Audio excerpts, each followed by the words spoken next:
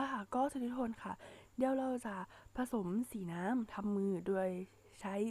สีแดงกับสีเหลืองทำสีส้ม แล้วก็มีกลีซอรีน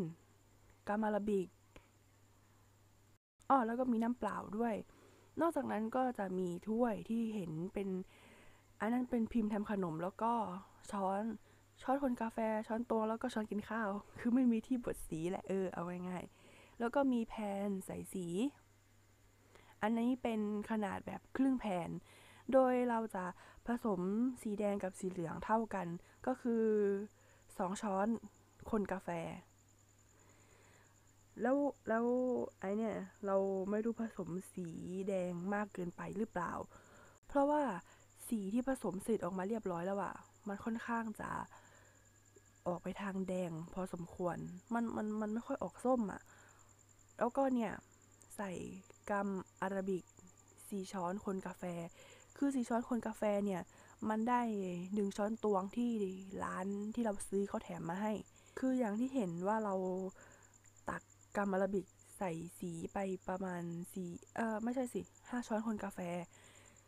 ช้อนที่สองอะ เราใส่ไปค่อนข้างน้อย เราก็เลยใส่ช้อนที่ห้าลงไปด้วย แล้วทีนี้เราก็ใส่กลีเซอรีนลงไปหนึ่ง ช้อนคนกาแฟ ก็คือประมาณสีหยดนี่แหละ ก็เอาน้ำเปล่า ใส่ลงไปหนึ่งช้อนตวง แล้วก็คนคนคนคนให้เข้ากัน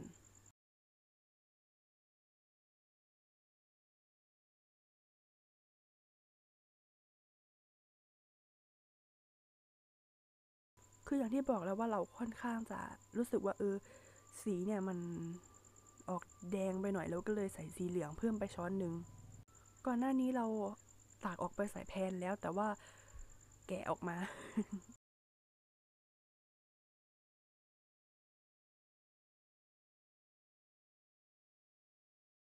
แล้วก็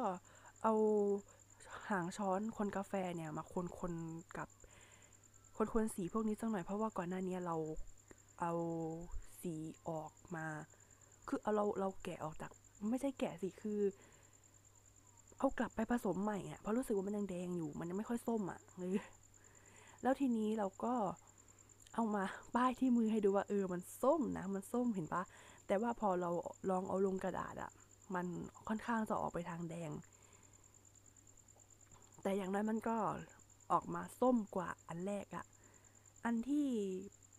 ฮับแพนมันวางทับอยู่อะมันคือสีของอันแรกที่ว่าเราบอกว่ามันแดงนั่นแหละ ลองเกลี่ยสีดูเล็กน้อย ว่า อืมสีติดมือ ก็สีติดมืออีกแล้ว คือผสมสีเนี่ยแบบวางสีใกล้มือสีก็ติดมือไปเรื่อยอะ